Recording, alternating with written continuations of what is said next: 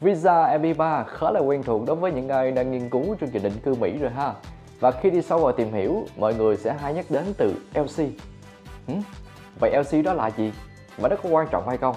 Hãy cùng xem tiếp để cùng biết câu trả lời nha. LC là viết tắt của từ Labor Certification, nghĩa là giấy chứng nhận lao động. Giấy này do Bộ Lao động Mỹ cấp cho nhà tuyển dụng Mỹ đang tìm kiếm lao động nước ngoài. LC được xem là một bằng chứng cho thấy các nhà tuyển dụng Mỹ không tìm được lao động nội địa để lấp đầy vị trí của công ty. Để được cấp LC thì chúng ta phải trải qua 7.749 bước. Thời gian chờ đợi ở giai đoạn này khá là khó khăn. Khi mà đã quyết định đăng ký hồ sơ MP3 thì chúng ta hãy cùng chuẩn bị tâm lý ở khúc này nha. Nhưng chờ đợi rất là xứng đáng nha. Khi LC được cấp là bạn đã đi được một phần ba chặng đường rồi đó.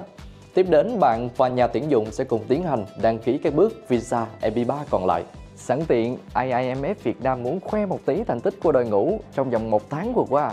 Khách hàng của nhà AIMF Việt Nam đã liên tiếp nhận được LC. Qua đó, AIMF Việt Nam muốn tiếp thêm động lực cũng như là gửi lời chúc đến khách hàng những ai đang chờ tin xét duyệt sẽ được cấp LC nhanh chóng và triển khai hồ sơ thuận lợi. Hãy nhanh tay liên hệ và triển khai hồ sơ IP3 cùng AIMF Việt Nam nhé.